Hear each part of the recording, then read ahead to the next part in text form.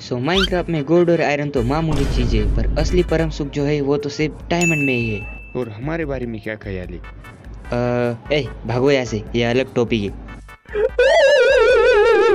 सो so, हाँ मैं कह रहा था कि डायमंड एक अलग ही चीज़ है जो कि माइनक्राफ्ट में एक नेक्स्ट लेवल फील देती है। और आज मैं आपको माइनक्राफ्ट में ऐसी टिप बताने वाला हूँ जिससे कि होगा। 25 दिन में पैसा डबल सो so, जब भी आपको माइनक्राफ्ट में डायमंड मिलते हैं तो आप उन सारे डायमंड्स को कलेक्ट कर लेते हो और कहते हो आई एम रिच बट ऐसा कुछ नहीं होता समझे? हाँ। सो आपको करना बस इतना है कि आपको सिर्फ़ पाँच डायमंड को कलेक्ट करना है। और उन पाँच डायमंड में से तीन डायमंड की बनानी है डायमंड पिकेक्स और दो डायमंड का बनाना है एक एंशेंटिक टेबल देन उसके बाद डायमंड पिकेक्स पर आपको लगानी है फॉर्चून थ्री देन आपको करनी है डायमंड माइन और उसके बाद पैसा ही पैसा होगा।